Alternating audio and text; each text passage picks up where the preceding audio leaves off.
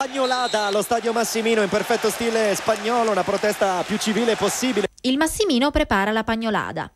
I tifosi rossoazzurri, attraverso un passaparola ricorrente anche sul web, hanno manifestato l'intenzione di riproporre sugli spalti dello stadio Etneo la pagnolada, lo sventolio di fazzoletti bianchi in segno di protesta contro i torti arbitrali subiti. Nato in Spagna è divenuto segno di indignazione e di protesta nel mondo del calcio. Devo fare un annuncio importante, dico per segno di protesta di portare dei fazzolettini bianchi e di svendolarli su tutta la tribuna perché eh, per tutto quello che sta succedendo non ce lo meritiamo, stiamo sapendo giocare a pallone e noi abbiamo dei valori, facciamo capire chi siamo veramente, i Cervasoni, Rizzoli, mercoledì hanno dato un rigore che si poteva anche evitare.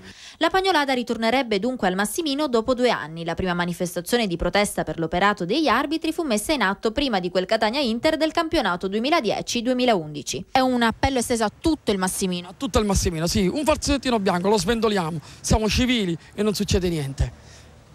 L'obiettivo è quello di farci sentire, di alzare la voce, perché stiamo subendo troppi torti, troppi. Da cinque settimane che il Catania subisce torti incredibili, non sono più l'errore arbitrale, ma sono, sono cose veramente che non, qualcuno mi dovrà pure spiegare. L'appuntamento dunque per domani, quando le squadre entreranno sul terreno di gioco. Ogni volta che lo dico non so perché eh, c'è qualche azione da gol, segniamo e poi io e lui abbiamo due cose in comune. Abbiamo, abbiamo il Catania e facciamo il compleanno lo stesso giorno.